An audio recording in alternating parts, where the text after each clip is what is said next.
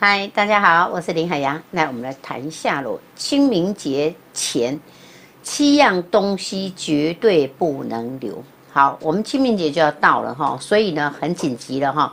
希望你花点时间，赶快把这些东西整理整理啊，小心触摸禁忌哈。好。为什么要讲这东西不能留呢？呃，有关呢，就是清明节前呢，如果到清明节的时候呢，我们是要去祭祖呢，要上坟呢，或者呢，到那个灵骨塔好去拜拜呢，对不对？啊，很多人呢住在国外呢，并没有哈回来拜拜，但是呢，如果有的话，也要明思一下。如果在海外的朋友呢，也请你们呢，好好的来整理一下这些东西喽。好，很多人呢，在呃人在世的时候，就留了很多的东西。那这些东西呢，啊，最重要的是它的很啊，要特别注意的事项是有七样。好，我们来先来看第一样哈，过世亲人的遗物。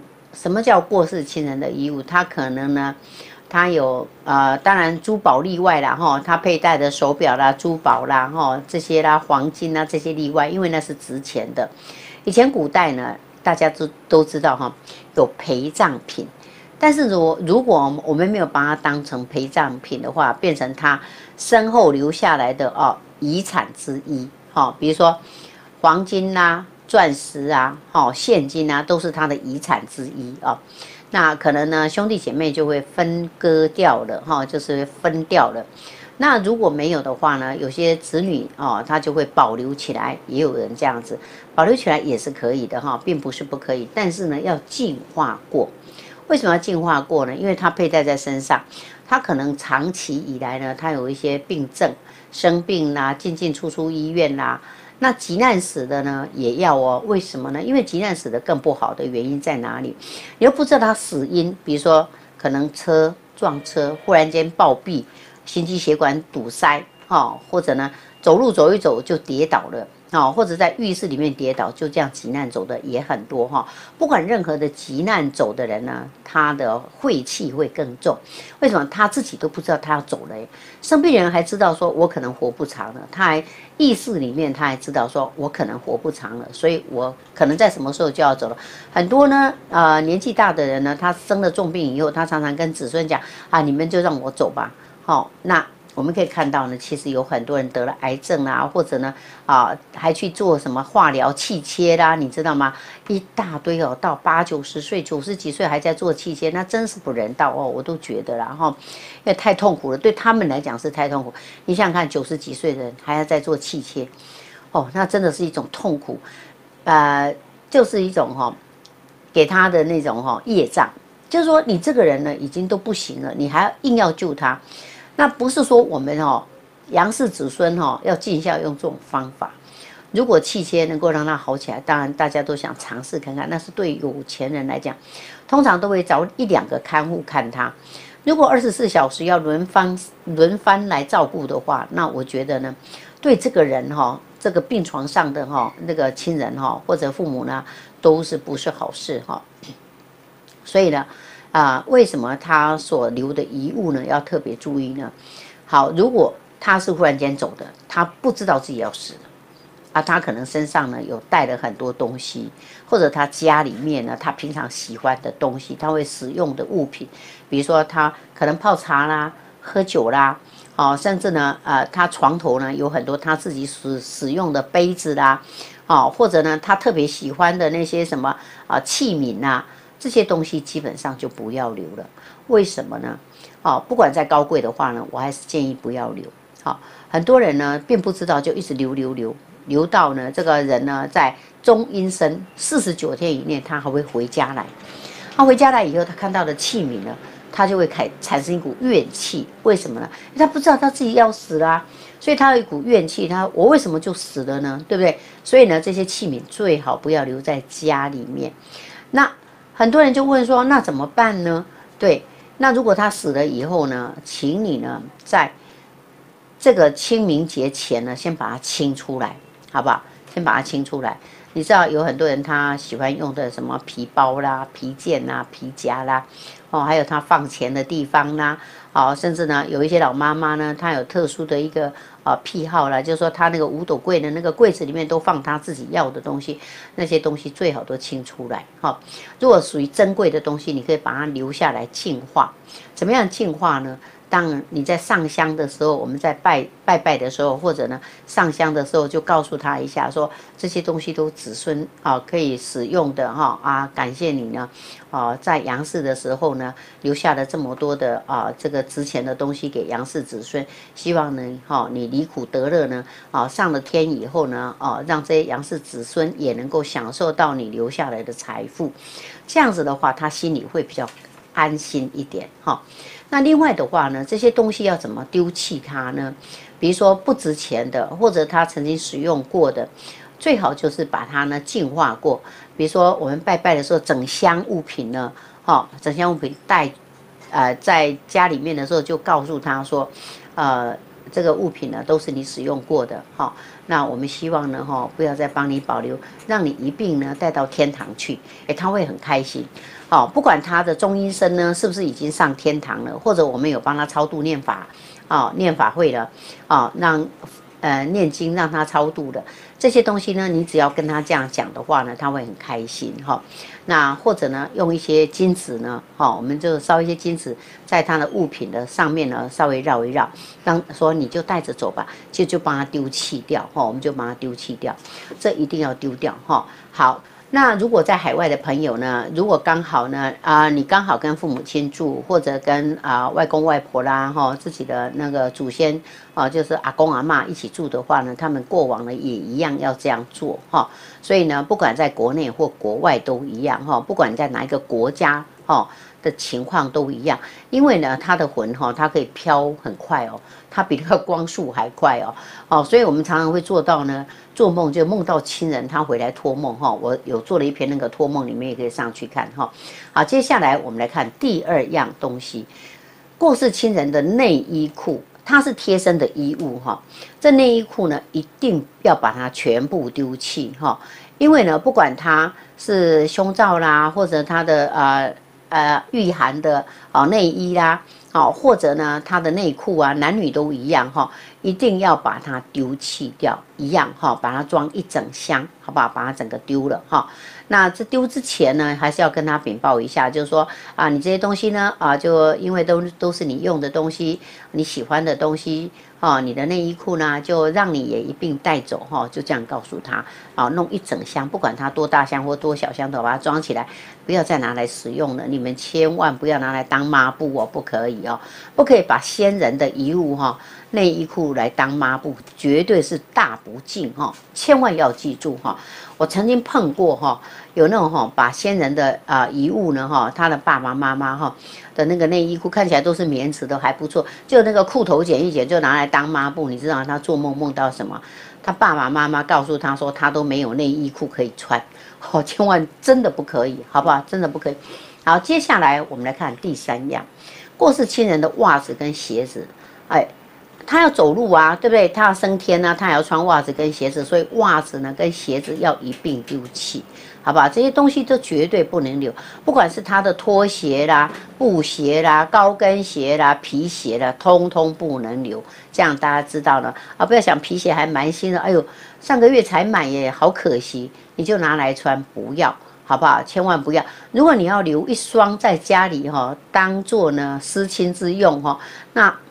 我觉得呢，哈，还是哈，还是建议不要啦，哈，因为很多人说啊，那我爸爸妈妈留下来的鞋子哈，好可惜哦，就把它丢了。那睹物会失人哈，我要讲一个故事哈，这睹物失人，包括哈他的照片哦。呃，很有名哦，我们台湾一个很有名的大掌柜姓刘哈，大家知道了哈，就是以前国民党那个姓刘的大掌柜的，他的夫人呢，哦，他长期呢都是我的啊客户，他已经死了，他现在已经死了，但是呢，你知道吗？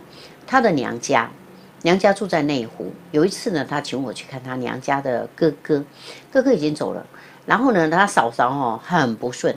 好，包括他的孩子的工作啦，还有呢，他嫂嫂呢都赚不到钱呐，还有呢，他嫂嫂每天呢就是在家里面哈哭泣呀，哦，他娘家了哈，不是刘，呃，这个刘大掌柜，是他夫人的娘家的嫂嫂，他哥哥走了，然后呢，这个嫂嫂呢的的先生死了，就是这个刘刘大掌柜的夫人嘛，还有呢，就是他的公公也死了，结果呢，他就呃 鞋子留在家里面，好，然后呢，还把他的袜子呢放在他房间。哦，都不舍不得丢掉。另外一件事情，他不是我们都有遗照吗？对不对？通常一般遗照的话，你要放在神龛上面，是小小一张，其实都不用放哦。四十九天以后一定要拿掉，四十九天以后一定要拿掉。他把它挂在餐桌的正上方，就是他随时吃饭哦，一走出他的房门就可以看到餐桌。进门的时候呢，他只要坐在餐桌上面，他就客厅也可以看到餐桌。那餐桌上面挂了两张遗照，这两张遗照是什么呢？一张是公公的，一张是先生的。好，孩子呢没有跟他住，儿子跟女儿都没有跟他住。啊，虽然还没有结婚嘛，但是都住在外地，哈，都没有跟他住。你知道他一个女人孤苦伶仃，然后每天吃饭的时候看到这两个男的哦，长辈呢，哈，就是公公啦，还有他的先生，眼泪就疏噜疏噜的一直在掉下来，多可怜呐！你知道吗？每天都是唉声叹气，哦，那种心情压抑到哈，都快死掉了。他呢，后来发现他嫂嫂越来越越萧条，然后呢，越来越瘦，因为他吃不下饭了。然后呢，一出门的时候又看到这两双鞋又困在门口，我的妈呀！两双鞋又放在他家的那个鞋柜，他一打开鞋柜，他就看到鞋柜还没有什么没有盖子的，你要知道没有没有那个可以盖起来，所以他是不是坐在客厅就看到那个鞋柜两双鞋在那边呢？睹物思人呐！所以呢，死了好几年以后呢，其实呢，我那时候就看到哇，吓了一大跳，我就告诉他。哎，第一件事情，对不起哦，请把那两张照片先放拿下来，然后把鞋子呢先丢弃，然后呢，哎，他到房间里面全部放了他先生的东西，还有他公公很多东西，我都快昏倒了，因为他每天哦就思念这两个哈啊陪他哈啊走过呢几十年的人，你知道吗？那个感情哦是没有办法放下的，所以呢，活着人呢比死去人更痛苦，你要了解，这个东西全部都要拿掉。后来呢，我让他那两张照片呢打包好，放在他的衣柜上方去了哈，看不到的地方啊，他他还是舍不得丢掉。我叫他说：“你把它丢了。”他说：“不行啊，照片不能丢。”我告诉你，他就是怎样都怎怎么样都不肯丢啊。六十几岁了哈，我们也不忍心哈，让他太过伤心嘛，太过难过，拿下来对他来讲一件很很痛苦的事情。这是真实的故事哈。海洋老师呢？觉得呢，一定要告诉大家这些事情，你们一定要哈，先帮我按赞跟转传给你所有的亲朋好友，好不好？好，好，接下来我们来看第四样，亲人专用吃药的杯子。你知道很多人的勺子啊、杯子啊，他喝水对吧？他每天要吃很多药，对不对？请你把那些杯子也跟着那些汤匙、筷子全部丢了吧。你知道，通常一般哈，我们给家人哈，比如说年纪大的人啊，阿公阿妈啦，爸爸妈妈啦哈，如果住在一起的话呢，他们生病对不对？他们用很多的杯子啊，一个杯子一个碗啊，或者是什么啊桶子啊哈，那些水桶啊，洗脸的水桶、洗脚的水桶啊，有没有？全部请你丢掉它，好不好？